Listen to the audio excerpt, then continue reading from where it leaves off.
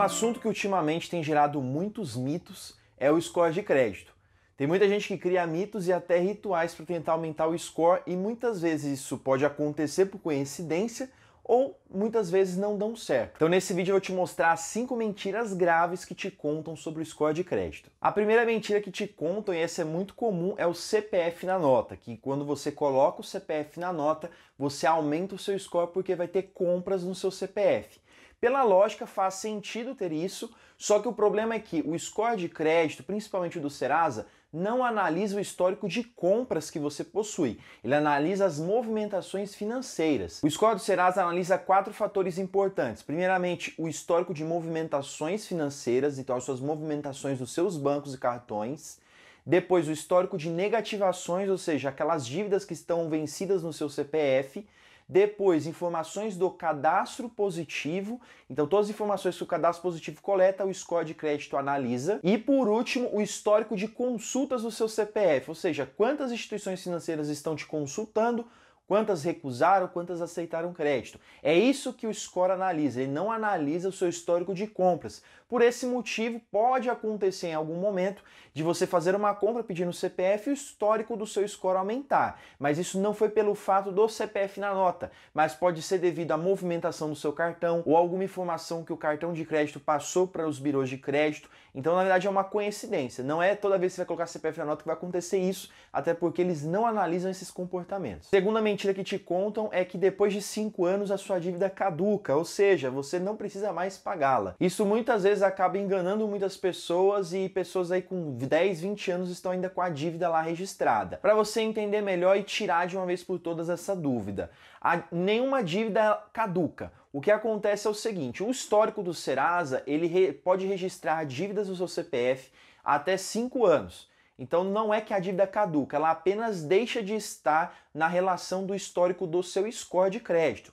Porém, tem um detalhe: mesmo que passe esses cinco anos, a sua dívida ela continua na instituição financeira que você estava devendo, ou seja, ela não é apagada de uma vez por todas e ela também continua registrada no seu cadastro positivo.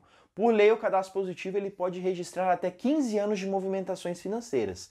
Então, se você tem dívidas antigas no seu CPF, elas ainda estarão registradas lá. O que pode acontecer é que a maioria dos bancos atualmente não consulta históricos tão antigos.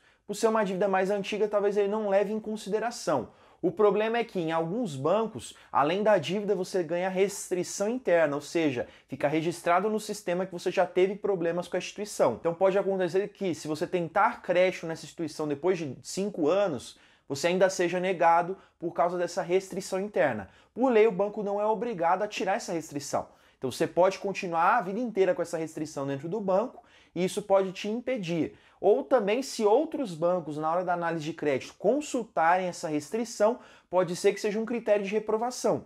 Mas dentro do score não vai aparecer. Então, a maioria das instituições vão consultar apenas o score e algumas informações mais recentes do cadastro positivo. Agora, para os bancos que querem consultar mais detalhes das suas movimentações, eles podem sim achar essas informações e aí essa dívida que estava aí mais antiga pode te prejudicar. Terceira mentira que te conto é que se você pagar uma dívida, o seu score vai aumentar na hora. Isso é um mito. O sistema do score ele não é tão rápido assim e também depende de várias informações que os bancos passam para o birô de crédito. Então não quer dizer que você pagou uma dívida pelo aplicativo que automaticamente tem que mudar a sua pontuação do score. Na verdade, leva um certo tempo para processar no sistema e aí sim o birô de crédito, ou seja, o Serasa ou outro birô de crédito, vai processar essa informação e mostrar para você em tempo real a questão do score mas não acontece isso na hora. Então não pague as dívidas somente pelo motivo de mudar o seu score na hora. Pague as dívidas para regularizar a sua situação. Mas se não acontecer da sua pontuação ser reajustada, espere o tempo certo, que quando houver esse processamento do sistema vai sim aparecer. Eles não deixarão de valorizar essa informação, de você ter pagado uma dívida antiga do seu CPF, com certeza eles vão ajustar o score, mas não na hora. Então não acredite nesse tipo de conversa. Quarto mito que você pode acreditar, eu já vi muitas pessoas caindo nessa, que é você contratar serviços do Serasa ou serviços de terceiros para aumentar o seu score. Primeiramente, o score de crédito ele representa o seu perfil de consumidor. Como se trata de uma representação do seu perfil de consumidor, somente você tem o poder de aumentar ou diminuir o score. Nem o Serasa, que é o próprio criador do score deles, ou outro birô de crédito, Boa Vista, COD, SPC Brasil, eles não têm poder sobre a pontuação. Então não é porque você contratou um serviço do Serasa Antifraude ou contratou algum plano que o Serasa oferece na plataforma que ele pode aumentar o seu score. E muito menos de pessoas terceirizadas, ou seja, pessoas que não têm nenhum envolvimento com o Serasa que prometem aumentar o score. Isso tem nome de golpe, cheiro de golpe e anda como golpe. Não adianta você cair nessa. A única pessoa que tem poder de aumentar a sua pontuação é você mesmo, através das movimentações de crédito, mantendo seus dados cadastrais atualizados nos bancos que você tem conta, tendo contas de consumo no seu nome, ou seja, conta de água, luz, telefone. Isso vai fazer com que você tenha uma movimentação maior no seu CPF. Também as empresas vão ver que o seu CPF está disponível para consulta. Então faça isso que você vai ver que vai aumentar o seu score. Não caia nesse golpe. Se você já caiu em algum desses golpes, veja uma forma de sair dele ou até procurar um advogado para ver o que você pode fazer nessa situação. Já vou te contar a quinta mentira que te conto sobre o score, mas já quero te adiantar que eu tenho mais uma mentira que eu lembrei e é a mais importante de todos. Então depois dessa quinta eu já vou mandar a sexta que é um bônus para você. A quinta mentira que te conto é que você tendo uma renda alta, você tem uma pontuação de score maior. Na verdade, isso é mito. O score não é baseado na sua renda, mas sim nas movimentações financeiras que você tem no seu perfil de consumidor em relação à sua renda. Então, se você tem a sua renda alta ou renda baixa, não importa. O que importa é a relação dos seus pagamentos, movimentações com essa renda. Então, você é a pessoa que gasta mais do que ganha, aí é um problema para o seu score, porque isso pode mostrar que você tem riscos de inadimplência maior que uma pessoa que gasta menos do que ganha. Então essa relação de renda não quer dizer que quanto mais você ganhar, mais scores você terá. Isso não acontece. A questão é em relação das suas dívidas com a sua renda. Então você gasta mais do que ganha? Será que os bancos querem uma pessoa que está completamente endividada? Talvez não. O perfil que geralmente os bancos mais procuram são aquelas pessoas que elas precisam de crédito, só que elas têm recursos e estrutura financeira para quitar essas dívidas. O banco não quer ter pessoas dando calote neles. Então ele quer ver se você tem estrutura financeira para isso. Então as suas movimentações podem dizer muito. Mas não crie essa limitação que você precisa ter mais salário. Não. O seu salário já é o suficiente. Basta você se organizar financeiramente e utilizar os serviços do banco, ou seja, movimentar o seu cartão de crédito, movimentar a sua conta de forma consciente e sadia. Isso com certeza vai aumentar o seu score com o passar do tempo. E já emendando aqui a sexta mentira, que essa é a pior de todas, que muitas vezes faz você virar escravo do score, é você receber aquela notícia que você não foi aprovado por conta do score. Ou seja, com o score baixo você não consegue crédito ou por causa da sua pontuação você foi reprovado. Isso, na verdade, é um mito e, na verdade, é uma desculpa que os bancos criam para não falar detalhes sobre análise de crédito. Eu já aqui fiz uma playlist para Foregon explicando tudo sobre análise de crédito. Você não conseguiu assistir ainda, não tem problema. Eu vou pedir para o pessoal da edição deixar aqui no card, no topo da tela, essa playlist, onde você vai aprender de fato como funciona a análise de crédito, como funciona esse critério de aprovação. Mas resumindo aqui para você, a análise de crédito nada mais é do que um preenchimento de perfil. Então, da mesma forma que quando você entra numa rede de relacionamento, por exemplo, um Tinder, procurando uma pessoa ideal, você preenche vários perfis e escolhe um tipo de pessoa que você quer, o banco também tem isso. Só que essas informações são internas, você não consegue saber o que o banco está procurando. Geralmente ele coloca informações mais rasas, como renda mínima, que é o principal.